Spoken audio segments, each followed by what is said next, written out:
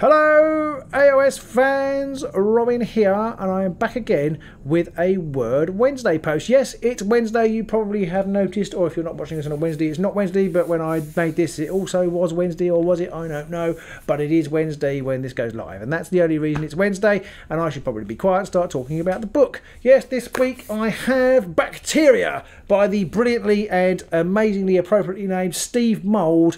It's a DK book. Steve Mould is a big internet sensation, I'm led to believe, although obviously he's not as big as Pete and Rob of Agents of Sigmar, despite him having many, many more views and many, many more uh, subscribers.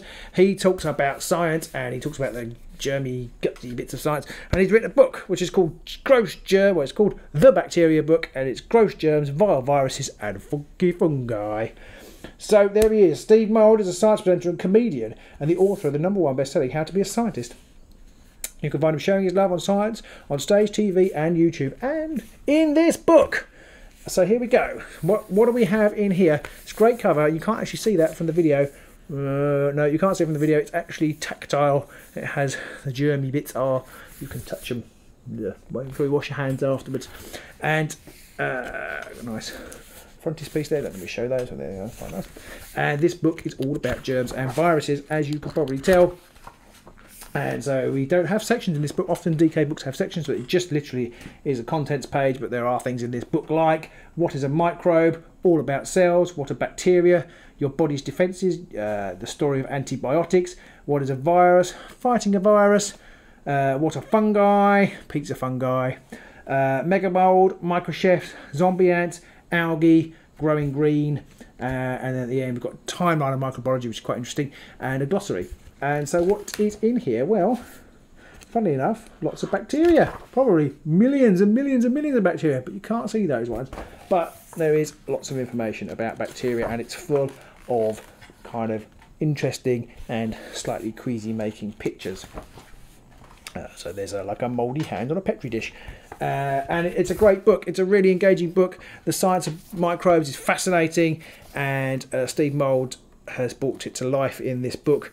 I'm trying to find you some pictures that will amuse your children. There's one of somebody going to the toilet talking about uh, horrible. Um, uh, about well, about poo really about spreading germs through your poo and cholera and drinking dirty water and it has things like about half the weight of your poo is bacteria there you go uh, can of squid glow so it talks about phosphorescent bacteria and microorganisms there and basically this has got everything in it you might ever want to know and probably quite a lot more for some of you about bacteria.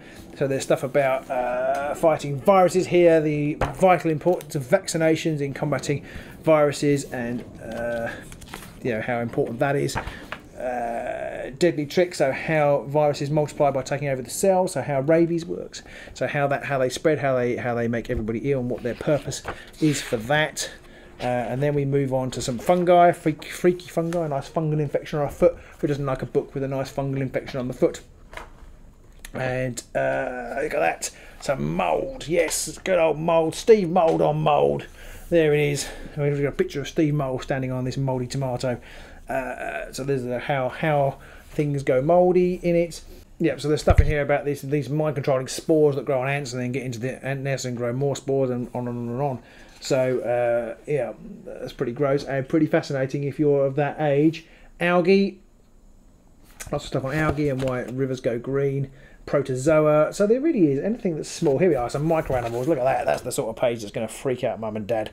Um, I really do like this book.